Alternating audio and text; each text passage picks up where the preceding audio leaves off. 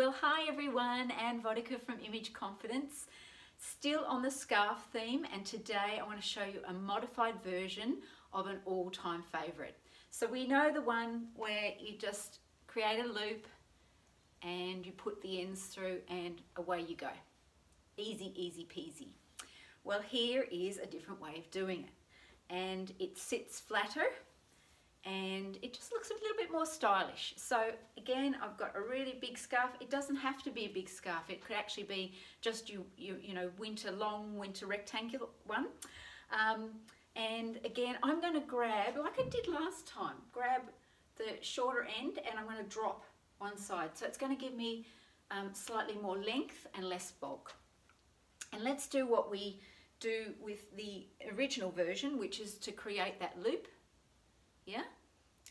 And instead of putting both ends through, I'm just going to put one through, like so. And then I'm going to, I'm going to come closer, I'm going to twist. Can you see how I've twisted that to create another little loop? And put that end in. Now, just little, little fluff around, little play around. And that, it sort of creates a little braid nice little sophisticated way of styling your scarf. I'll see you again soon. Bye.